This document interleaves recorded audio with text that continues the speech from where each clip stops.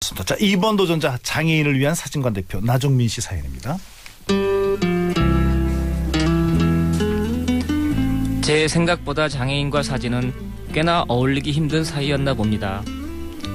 우연한 기회에 장애인이 사진관에 가기란 참 어렵다는 걸 깨닫고 야심찬 준비 끝에 장애인을 위한 사진관을 열었습니다. 하지만 개업 첫날 사진관은 문 닫는 순간까지 텅 비어 있었습니다. 손님이 단 한 명도 없는 상황은 한 달이 넘도록 달라지지 않았죠. 실망감과 함께 조바심이 들었습니다. 인생의 제 이막을 멋지게 걸어가려던 제 발 앞에 누군가 커다란 돌덩이를 가져다 놓은 것만 같았습니다. 이 돌덩이를 치워야만 했습니다. 방법을 궁리하던 저는 장애인을 촬영하기 위해 무료로 가족 사진을 촬영하기 위해서 인터넷 모금을 하였습니다.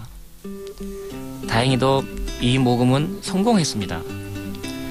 많은 장애인 가족들이 신청을 해줘서 모처럼 사진관이 활기를 돋았습니다. 대부분의 장애인 가족들이 함께 사진을 찍는 것 자체가 처음이었습니다.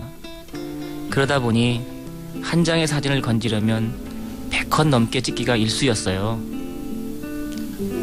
힘은 들었지만 뿌듯한 마음으로 기분 좋게 일하던 어느 날, 한 장애인 가족이 사진관 안으로 들어왔습니다.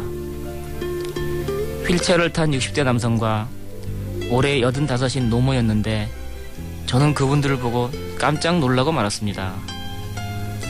그분들이 들어오는 순간 입구에서부터 퍼져오는 밝은 기운이 침침한 사진관 내부 공기를 순식간에 바꿔 놓았기 때문입니다. 사진을 찍는 내내 비장애인들도 찍기, 어, 짓기 힘든 환한 웃음을 연신 내보이는 두 분을 보면서 까닭 없는 호기심이 치솟았습니다. 도대체 뭐 하는 분들이길래 저렇게 멋진 웃음을 갖고 있을까? 저는 잠시 휴식을 취한다는 핑계로 두 분의 취재에 들어갔죠. 60대 남성은 태어날 때부터 지금까지 지체장애 2급이라고 합니다. 기초생활 수급비와 노모의 노령연금으로 어렵게 생활을 꾸려가고 있지만 자신보다 더 중증인 장애 아동을 매달 후원하고 있다고 하더라고요. 무릎을 탁 쳤습니다. 아, 그게 바로 저 밝은 미소의 비결이구나. 짧은 기간이나마 장애인 사진관을 운영하면서 느꼈던 행복함의 정체가 안개 거치듯 밝혀지는 순간이었습니다.